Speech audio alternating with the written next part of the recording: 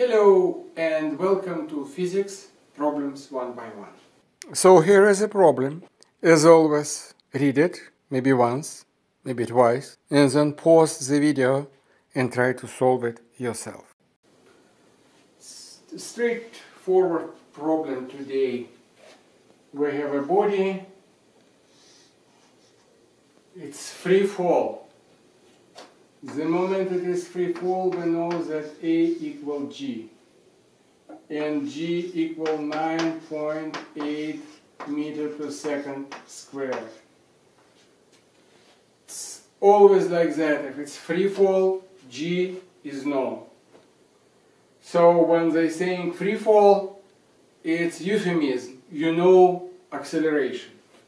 Fantastic. And also this is ground, and this distance is known.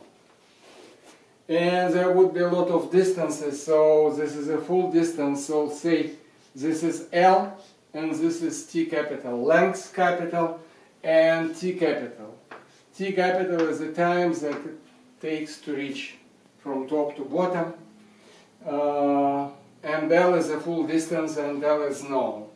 And now they're asking us what will happen in the first second, what distance, and what would be the distance uh, time to cover the first meter. So we concerned now with something that happens in the beginning. So let's call this D1 and let's call it T1. And let's, the first case that T1 is known. And it's one second. Right? So we can write the formula, pause. We can write the formula, it's about the distance, distance 1, that's covered with initial speed equals 0, and it is uh, acceleration constant, so d1 equals v0 t plus at squared divided, divided over 2. So v0 equals 0. So it would be gone. And distance is acceleration equal g. t1 squared. So t1 is known.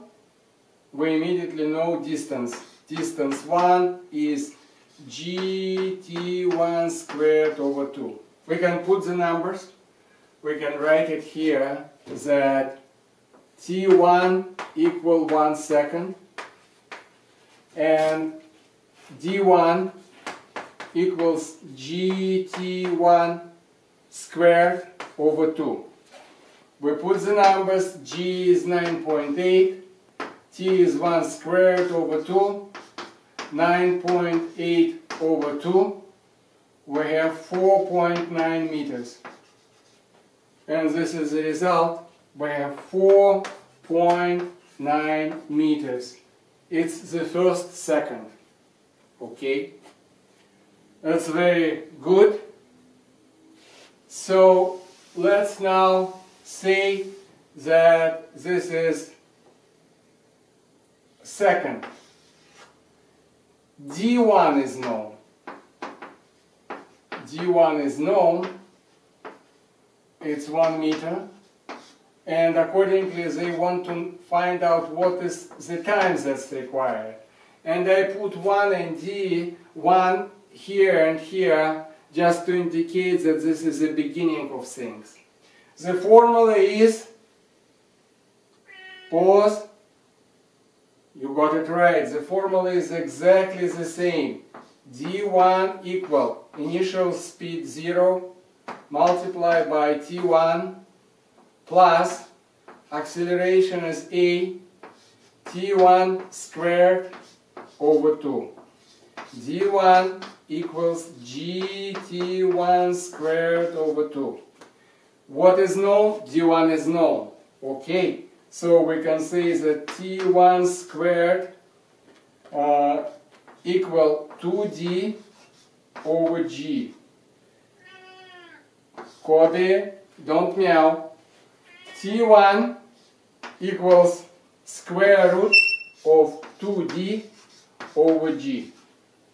So I put this 1, I put this 2, and the formula for T1 becomes square root 2D over G, and it would be the time to cover the first meter. So D1 is known, and D1 I put here, and of course T1 becomes square root 2 divided 9.8. You can put in calculator 9.8, but I put T.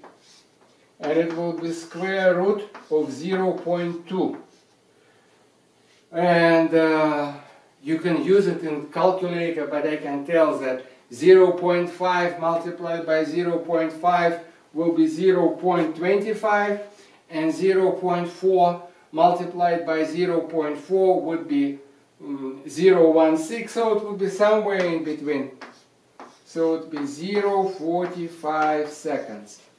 And it would be 0.45 seconds so if we drop the body and by the way, we absolutely haven't used how far from the ground we dropped. All we need is one second. And if it is one second, in this second we pass five meters. And one meter, 0.45 seconds. So this is how things going in the beginning. I'll go a little bit later about that. Subscribe, bell, like, comment, question, your problem, and I will see you next time. Thank you.